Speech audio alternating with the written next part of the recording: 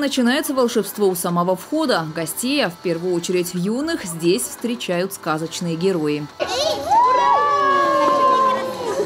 Наступающим Новым годом! Оживает сказочный мир и в цирковом шатре. Помимо новогодних елок, там проходит мюзикл о Снежной королеве и новых приключениях повзрослевших Кая и Герды. Это представление с элементами современного балета и акробатического искусства. Вас ждут совершенно удивительные декорации, а, замечательные цирковые постановки. А еще отдельная история – это, конечно же, подарки, которые получат детишки на выходе из шатра.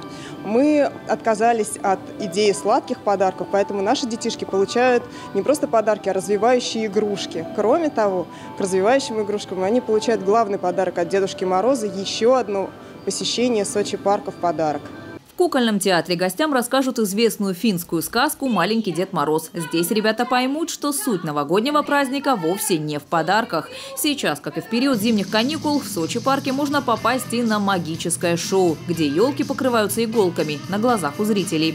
В рамках особенной новогодней программы заработала и фабрика Деда Мороза. В собственной резиденции зимнему волшебнику можно и стих рассказать, и попросить об исполнении желаний. Ну а подбой курантов здесь, но уже на аттракционах, Свои желания могут загадать взрослые. Впервые в этом году тематический парк открывает свои двери ночью, чтобы встретить Новый год в формате народного гуляния. Если сильно подгадать время, то именно в 12 часов новогоднюю ночь вы можете взметнуться вверх на 65 метров на жар птицы и посмотреть на все окрестности, которые окажутся у вас под ногами именно в новогоднюю ночь и именно в Сочи парке. Добро пожаловать, милости просим, мы будем рады вас видеть. А еще Сочи парк можно подарить. В преддверии зимних праздников тематический парк вводит новые виды абонементов – клубные карты. Это именные пропуски с возможностью неограниченного количества посещений парка, в том числе и в течение года.